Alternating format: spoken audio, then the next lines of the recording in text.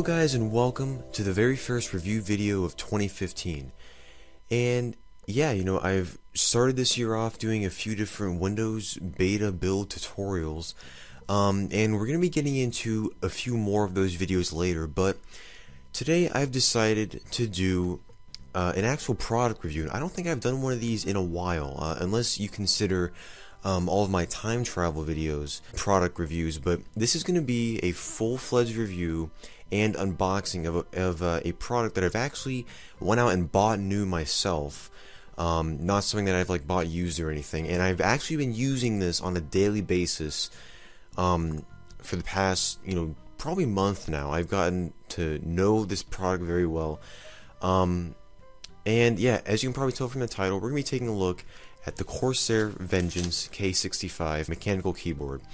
And I basically bought this keyboard to replace the current keyboard that I've been using on my computer. I've never owned a, a mechanical keyboard before. I've always used membrane based keyboards. And this is actually the one right here that I've been using uh, before that I switched to this one. Uh, standard HP keyboard right here. It's, it's, it's actually the one that came with my computer when I bought it. And it did everything that I wanted to do but I just figured you know why not upgrade to something that you know people consider mechanical keyboards to be way better than all of these membrane based keyboards? And after using this product for a while, I've actually tried to go back to using this, and I can't really do it very well. I, you know, I've gotten so used to how the mechanical keys feel on this keyboard, and um, but yeah, this is this is basically uh, a product uh, from Corsair, and it is, I believe, their uh, lowest end uh, mechanical keyboard that you can buy right now. I believe it costs uh, around uh, eighty nine ninety nine and by the way, I should probably say that you know Corsair hasn't paid me to do this review or anything. I'm just doing this all on my own. Um, this is not not like a product endorsement or you know anything like that. But yeah, this is just going to be a, a full 100% honest review. You know what I think about this product. Um, so yeah, you know, first let's just take a look at the box. I'll just you know kind of take this old keyboard and just you know set it aside for now. Uh, I might come back to it later because you know the biggest thing about this keyboard, and you can probably tell from the size of the box, is that there is no number pad on it. I mean, this is basically, and you know that, that's one of the things that they had to do to you know get the price down uh, to that price point and still make it uh, a full-fledged mechanical gaming keyboard. Um, but yeah, uh, on the front of the box here, you can see we have a picture of the keyboard right here. It says K65 Compact Mechanical Gaming Keyboard. Over here it says uh, the Corsair Vengeance logo. And here we have a few different features about it. You see it has uh, the Cherry MX Red mechanical key switches. It has a compact design with standard key spacing. It has full full key matrix anti-ghosting with full key rollover on USB. And I believe that uh, below is the same thing in a different language. And then up, up, up top there we have the Corsair logo. And just you know going around the side i think it says pretty much the same stuff. I think this is just talking about all of uh, the different technical specifications. You can you know pause the video and like uh, read that if you want. Um, here it says uh, you know with the same logo and it, and it also says uh, which keyboard layout it is which can be very useful if you were buying these like used or something like that. And you know if you were wanting to make sure that you're you were getting like your right you know type of keyboard layout um, this is obviously uh, the uh, uh, standard English QWERTY keyboard layout, but I'm sure you can get this in like any different uh, layout that you want to. And here on the back is uh, a full diagram of all of the different features that this keyboard comes with. And you can see kind of uh, how it looks. Of course, we're, uh, we're going to open this box and you know see the whole product here in a minute, but it's just uh, going to highlight these four different features. And these are, I think, the same things that I mentioned before. It's got uh, the same uh, standard key spacing that that it has on like uh, a full size keyboard, which is very good for something that you, uh, you want to be this compact. It also has a, a detachable braided uh, cloth USB travel cable, which is also very nice if you were planning on uh, taking this with you, you know, with your laptop or something like that. It also has a dedicated volume and mute controls and a rugged anodized aluminum chassis, which Also, all looks very nice. But you know, that's just all the stuff on the box. Let's actually open this thing now and get into this. So I'm just gonna, you know, pull this tab here, and I'm just gonna pull this here, and you'll see it is a very nice, you know, sort of simple packaging. Um, and so yeah, let's just pull this out here. This is the keyboard right here. We'll just you know kind of set that aside, and the only thing else that we get in here is the uh, USB cable. I'm just gonna pull that out. Comes in that little box thing, and all of these you know different papers, which we'll also take a look at in a minute. That's literally all there is in this box. So I'm just going to set that aside. Let's take a look uh, at the manuals first. I don't think there's that's going to take too much time.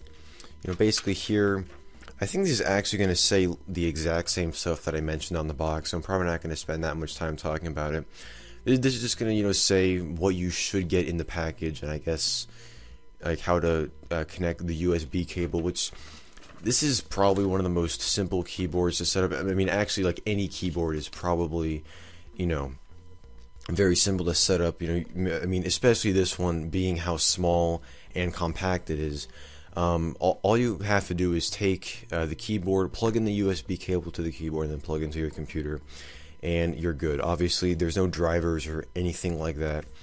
Um, and we have uh, your standard warranty guide, which I think comes with most Corsair products, and your warranty against defects, which is also you know very useful. So that's basically these these three slips of paper you get in here. Just set that aside.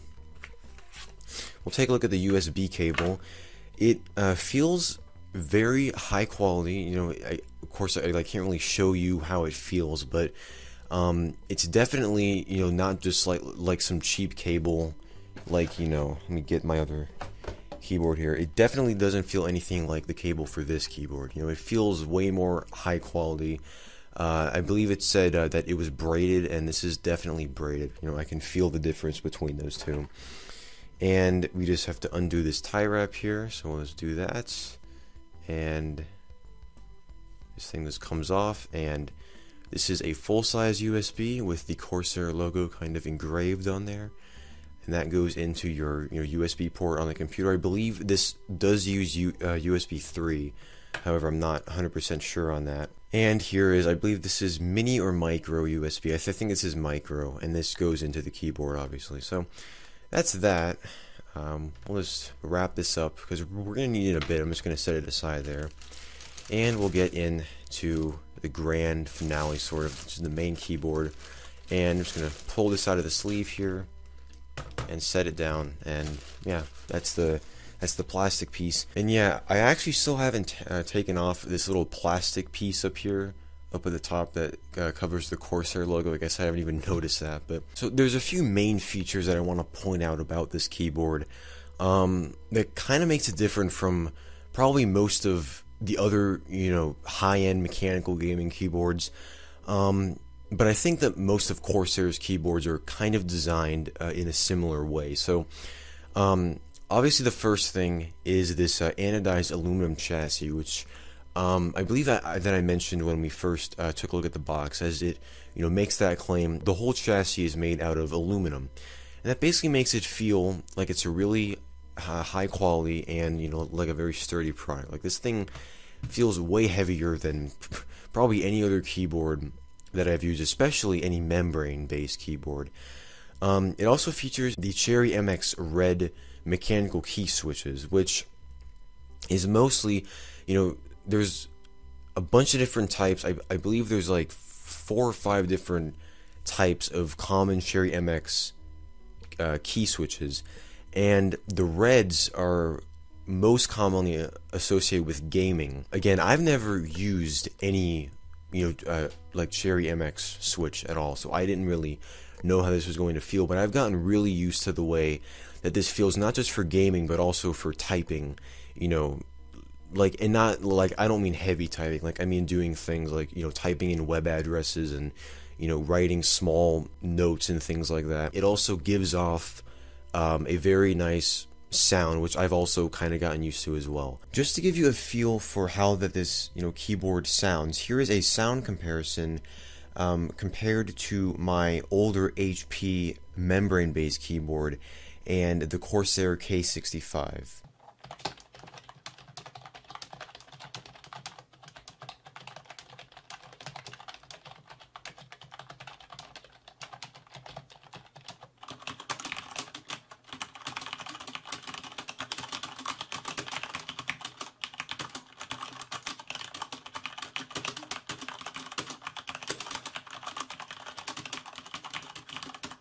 Obviously since it's a gaming keyboard they have uh, labeled the W, A, S, and D keys and the arrow keys sort of in a different color to kind of, you know, I guess if you're in the dark or something, you, you can, you know, find these keys um, a little bit easier. Uh, the keyboard doesn't have any backlighting.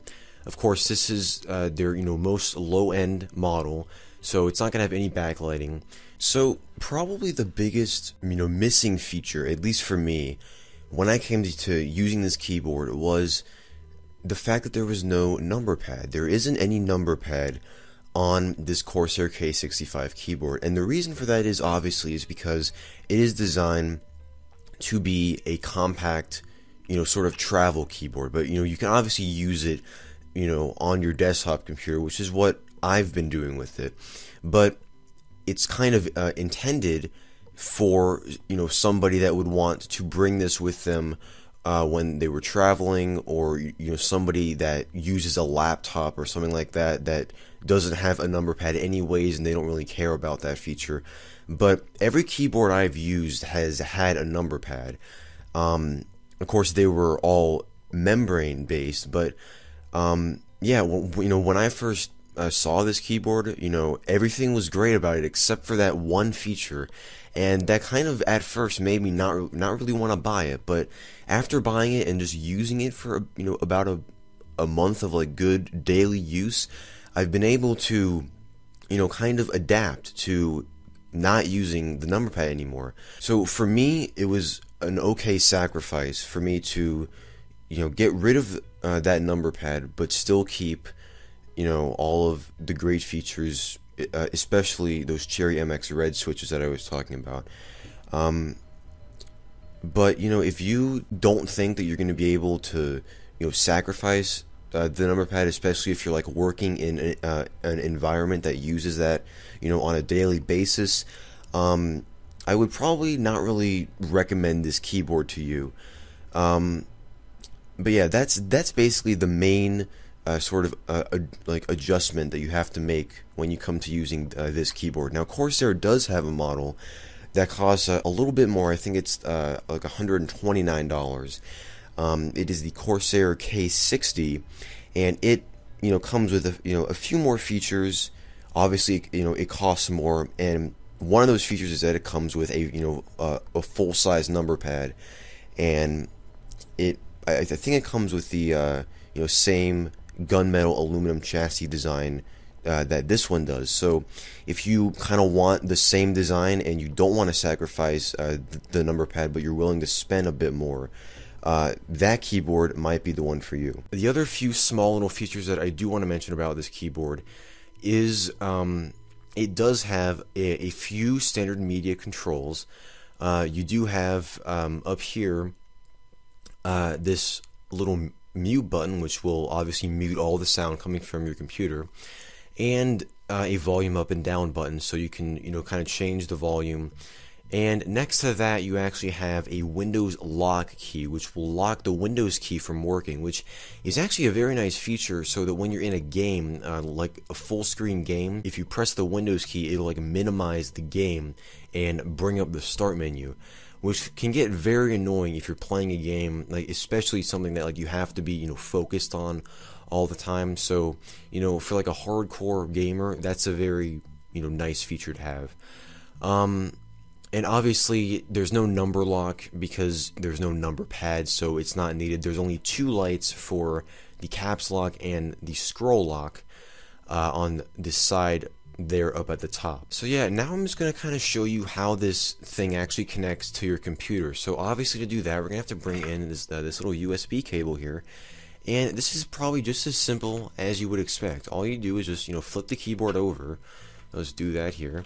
And on the bottom here, there's this you know little indent down here, and all you have to do is just take your micro USB or your mini USB or you know whatever this end is, and plug it in. I think it actually goes in this way, so I had it right the first time. And you just plug it into here, just like this, and there you go. And now you just now uh, like this this little crease here is actually for taking the cord, and you just kind of you know fit the cord in here, and it kind of makes the keyboard sit flat, which is obviously kind of needed for you know a keyboard like you want it to sit flat on your desk and just like most keyboards on the bottom here we also have uh, these little feet that you can you know bring up and make the keyboard stand up a little bit you know taller if you so desired to do so so we're going to you know set that down there is also actually uh, this little FN key down here and if you actually press this um, there are a few other like they're not dedicated media control buttons but um, there is uh, a play, pause, fast forward, rewind, and stop button. Uh, if you press uh, the FN key while pressing the F9 through 12 keys, that's that's basically all of the main you know core components of this keyboard. Um, and obviously, you know, I can't really recommend for you to buy this if you absolutely if you absolutely need to have like the number pad or like backlighting, or you don't like uh, the Cherry MX Red uh, key switches. But if you're just you know in the market for like uh, a you know fairly uh, inexpensive, compact, easy to you know carry around uh, keyboard that uses Cherry MX Red switches, or if you're just you know like me and you're just getting into uh, using different uh, mechanical keyboards and you know you just want to uh, like kind of you know try around and you know see which keyboard is the best, I would definitely uh, recommend this to uh, someone like that. This is a good uh, starter's keyboard um, for someone that's just you know in the market for looking to get started um, with using mechanical keyboards. Um, and yeah, guys, I think that's gonna about wrap it up for this video. Um, that's that's basically all that I wanted to say. As I said, I haven't really done these like full-on product reviews in a while. Um, especially something that I've actually went out and bought brand new and just have you know stuck here right uh, like right in front of the camera and have been able to you know give all my full thoughts on. But you know if you guys like this video and would like to see you know me do this more, definitely be sure to you know like and subscribe as it really helps me um, to you know uh, determine if you guys like that or not. And you know just leave me a comment down below. You know what you guys think of this keyboard. Uh, and you know, would you buy it? Would you not buy it? You know, uh, just like all your general thoughts on it as I always enjoy reading all the comments. So yeah guys, thank you so much for watching this video. Thank you so much for all the great support that you've given so far in this year. It's actually been pretty amazing. I've gotten uh, a lot of great support on uh, you know my few recent videos. Um, and yeah, I, I just you know wanted to thank you guys for that. Of course, thank you so much for watching and as always, I will see you guys in the next video.